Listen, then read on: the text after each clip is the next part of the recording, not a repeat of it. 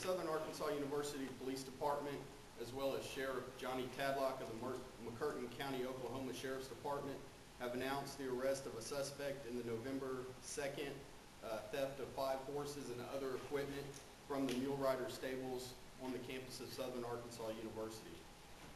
Warrants have been issued also for two other suspects in Oklahoma. Um, Jaci Rae Jackson, 18 of McCurtain County, Oklahoma, was arrested during a traffic stop approximately 1 p.m. today by Arkansas State Police Trooper Seth Pinner. She was taken into the McCur- uh, Columbia County Detention Facility and charged with six felony counts related to the theft. Now, those felony counts, six felony counts were off of warrants issued through the Southern Arkansas University Police Departments. The charges include three counts of theft of property over twenty-five thousand dollars, a Class B felony each, and three counts of theft of property between five thousand and twenty-five thousand dollars, which each carries a Class C felony. Uh, She is also being held on three felony charges out of Oklahoma, including bringing stolen property into the state, knowingly concealing stolen property, as well as cruelty to animals. No other warrants have been issued in Arkansas as of yet, but we do expect more arrests to be made in the days and weeks to come. I want to reiterate, our investigation is still ongoing. Other suspects known to be involved in this case uh, will be brought to justice, and we won't, will not rest and conclude this case until everybody that was involved or had a hand in this case is brought before the courts. Um, If anybody has any information, any further information regarding this case, please contact the Southern Arkansas University Police Department at area code 870-235-4100 or the Arkansas State Police Investigator Hayes McWhorter at 870-703-2065 or even the McCurtain County Sheriff's Department at area code 580-286-3331. Now, I'll call up uh, prosecuting attorney David Butler um, to take any questions or to make any statement regarding the charges. Thanks, Chief. Before I start, I want to thank all the law enforcement officers who were involved in this investigation. This has been a very high-profile, very difficult case for this community to deal with. Chief Plummer and his group have done a great job in dealing with the case that where a lot of the facts are in Oklahoma.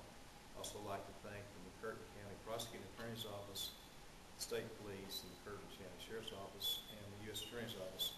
We, I visited today with the U.S. Attorney about whether this is going to be a state or federal case. It's my prediction, this is going, as far as Ms. Jackson is concerned, this is going to be a state case at this moment. Now, what will happen procedurally is she's been arrested today. Tomorrow, she'll be taken in front of the circuit judge to determine the bond. That's called a first appearance.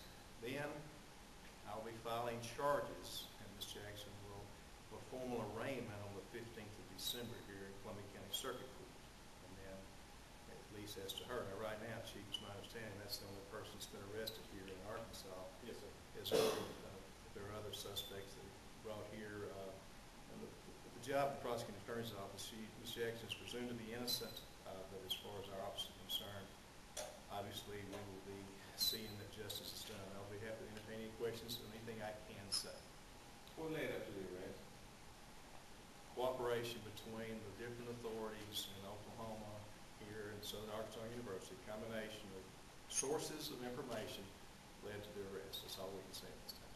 Do we have a motive? Yes, um, what I, I'm not, as prosecuting attorney, I'm not supposed to say anything about the case. However, as you're aware, if you will contact my office tomorrow for a probable cause affidavit, uh, the probable cause affidavit will contain everything you need in there. Is Ms. Jackson a student at SAU? Sir? Is Ms. Jackson a student at SAU? Yes, she, yes, she is. What class? Junior, senior? She's a freshman at uh, Southern Arkansas University. Uh, was she a member of the rodeo team? Yes. Uh, did she have horses stabled at Mulerider Stables? And if so, what is their status? We're not going to get into any particulars about where horses were located or where equipment was located. That's part of the investigation. Is Jackson responsible for the death of one of the horses? Again, that's part of the investigation. We're not going to get into that right now. Uh, by the contents of the statement, I, I just want to make sure that the uh, other two suspects are not yet in custody. No, uh, as far as my knowledge, no, they are not in custody. Those are gonna be Oklahoma warrants, and they'll be served by the McCurtain County Sheriff's Department.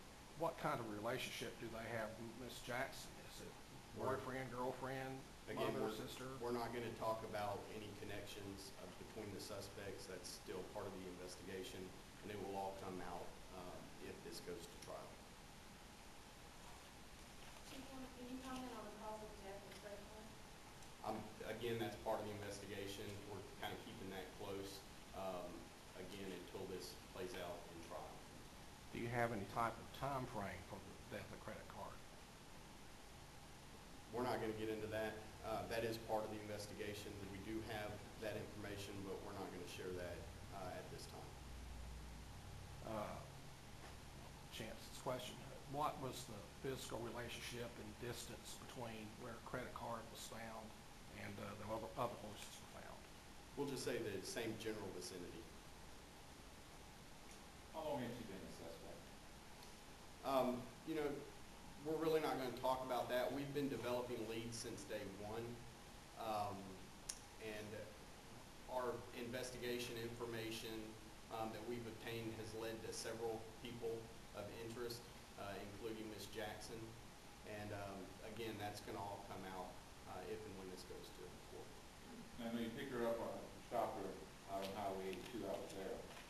Were you waiting on her or was, uh, We have, we were in the general vicinity um, with the warrants in hand, uh, waiting on a chance opportunity, whether she was pulled over or um, if she made herself known. We had warrants in hand for her arrest. Or did she live on campus or here in town somewhere? No. If convicted, how much time is she looking at? Well, the, uh, one thing I will say is, um, there's also a criminal statute that I'm gonna be looking at. She's charged with theft of property, theft of property over twenty-five thousand, that, that that involves the value of the horse, which is something the prosecuting attorney's office has to prove, what is the value of the horse? And one of the other statutes involves criminal mischief, and the question was asked concerning whether or not uh, one of the horses, uh, was the horse fatally killed in this situation, and that is going to be part of this case, and I'm just determining whether or not criminal fits in addition to theft of property. Now, you're looking at a penalty of up to twenty years on each count of every horse valued at over twenty-five hundred dollars. And then there's a statute involving twenty-five thousand, so twenty, uh, the, the rules just changed on this this summer, but we have twenty-five hundred and twenty-five thousand, I assume, chief, that what we know now, all the horses are valued at well over twenty-five hundred, and some of them over twenty-five thousand. Yes. So anything over twenty-five thousand has a penalty range of up to twenty years of prison. Would you comment on the, this is an unusual case. People just don't steal horses every day. Uh, I think this is more toward Chief Plummer. Uh, Could you talk about a little bit of the, of the effort that, that you had to expend? As you were saying, a lot of the evidence is in Oklahoma, it's not in Arkansas. Uh, You're dealing evidently with a crime that wasn't actually witnessed by anyone uh, here on campus. Yes. Uh, Would you just elaborate on that a little bit? Well, as in any, any crime, um, if it exceeds your jurisdiction, uh, your jurisdictional boundaries, you're gonna elicit the help of other agencies to assist. Um, we did that with the Arkansas State Police. Um, we also have other agencies when the stolen property became uh, apparent in Oklahoma. The McCurtain County Sheriff's Office was brought in. Um, a lot of resources have been shared between our agency, um, the Arkansas State Police, as well as McCurtain County, Oklahoma Sheriff's Department. So it, it's one, when, whenever you exceed your capabilities in a particular location, um, you get help from other resources, and that's what we've done. I asked this question last time, so I'll try it again. Uh, Were the, were the people who allegedly stole the horses ever in any communication with the uh, people from whom they were stolen? Uh, Again, I'm not gonna, as I mentioned at the last press conference, we're not gonna get into talking about who said what to who. Um, That's all part of the investigation. And of course, with any type of um, communications, there's logs, there's phone records, things of that nature. That all has to be gone through. Um, And it would hurt the case if we started talking about who was talking to who. So, so nothing in the way of ransom or threats or anything of that nature? Again, we're not gonna talk about the motive, um, of the perpetrators. Um, we're just gonna focus on building our case. If any additional suspects, we have a probable cause for any additional suspects, they will be brought to justice as well. Partial answer to the question, this involves horses. You know, Some people say, what's the big deal? It's a bunch of horses. About twenty years ago, we had a case where south of town, we had, uh, I was involved in getting a search warrant, and we seized twenty-five horses because a lady was starving to death. And I was instrumental in getting an arrest warrant for this eighty-year-old lady who went to jail. This is serious business, folks, and, uh, we're gonna, we're gonna, prosecuting attorney's office is gonna treat it that way. That's probably about all we need to say today. Yes. Thank you all. You got anything else you want to say, one thing? Well, if Dr. Rankin wants to make any final comments, we're gonna kinda leave the floor open for him.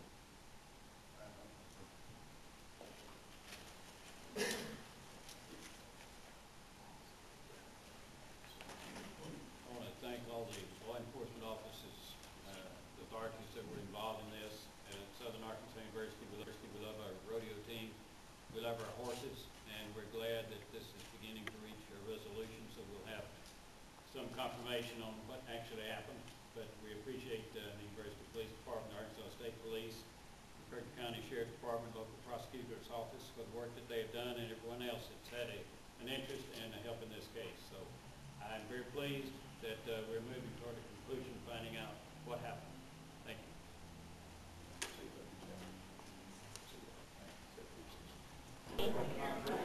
I feel pretty good. I'm glad that uh, it's moving, the case is moving forward and we're closer to justice. And how do you feel about your fellow rodeo member's horse um, dying as a result of all of this? Um, I think it's a shame that's had to lead to this, and I wish things could have gotten solved faster before anything like that was to happen. It's got to hurt that a fellow member of the rodeo team, you know, presumably someone y'all trusted and worked with, would do something like this. Yeah, it does. Describe the scent of betrayal. No comment. Did you know the young lady? I did What can you tell us about her? nothing really. She's just a freshman. She's new. Did you ever expect anything like this from her? No,